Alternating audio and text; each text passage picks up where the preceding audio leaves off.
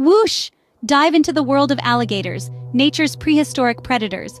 With their armored bodies and powerful jaws, they command respect and, yes, fear. But why are they so terrifying? Alligators are apex predators, meaning they sit at the top of the food chain. Their size, up to 15 feet long, and strength, able to slam their jaws shut with over 2,000 pounds of force, make them formidable hunters. But it's not all about fear. These reptiles are also fascinating creatures.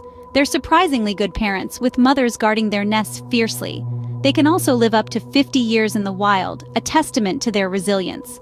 So the next time you think of an alligator, remember they're not just scary, they're survivors. And that is something to admire. Catch you on the flip side.